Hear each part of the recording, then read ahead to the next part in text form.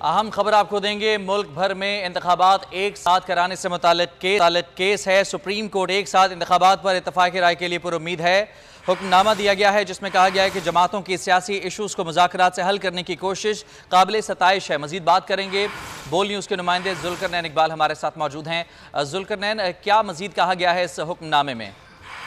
Supreme court of Pakistan की जानब से जो गुजशत समात का हुक्मनामा जारी किया गया है उसमें अदालत आलिया, अदालत उस्मा ने इस बात की तो ज़ाहिर की है कि सियासी जमातें एक साथ एक तारीख पर इंतबात कराने पर राज रजामंद हो जाएँगी और अदालत का कहना है कि सियासी इशूज को मुजाकर और इतफाक राय के ज़रिए हल करना ही बेहतर अंदाज होता है और ये भी इस बात का भी सुप्रीम कोर्ट ऑफ़ पाकिस्तान ने किया कि तो है कि जो सियासी जमातें हैं, वो पोलराइजेशन के खात्मे और एक तारीख के ऊपर इंतबात के लिए मुतफिक हो जाएँगी। हुक्मनामे में ये कहा गया है कि तरीके इंसाफ और हुकूमत की जो मुजाकराती कमेटियाँ हैं, उन्होंने अपनी अपनी रिपोर्ट अदालत में जमा करवाई। ख्वाजा साद रफीक ने बताया कि एक साथ इंतबात कराने के ऊपर इतफाक राय हो चुका है। सिर्फ़ तारीख के ऊपर इतफाक नहीं हो सका, अगर मुजाकर जारी रहे तो उससे भी इतफाक राय हो जाएगा। तमाम शाह महमूद कुरेशी के वाले से हुक्मनामे में लिखा गया कि उन्होंने मुजाकर में जो होने वाली पेशरफ है उस पर मायूसी का इजहार किया और कहा कि अब तक जो हुआ है उसमें कोई ठोस पेशरफ उसको करार नहीं दिया जा सकता। इसी बात से अदालत ने अब इस कहा है कि अगर मजीद कोशिश जारी रखी जाए तो सियासी जमातें एक तारीख पर इतफाक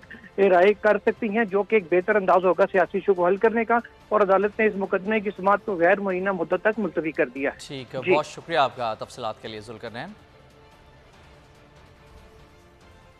चेयरमैन पीटीआई बैन अवी मीडिया